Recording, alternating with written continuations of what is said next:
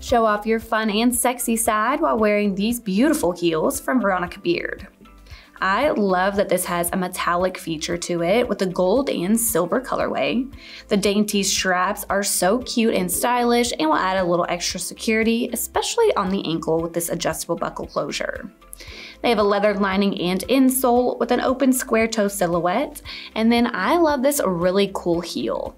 It is a block heel, but it has this really fun shape, making them very unique, and it's gonna give you that five inch lift. They also have a platform midsole and then a leather outsole underneath. I think these are gonna look so cute when you style them with a faux leather skirt, bodysuit, and of course a metallic handbag.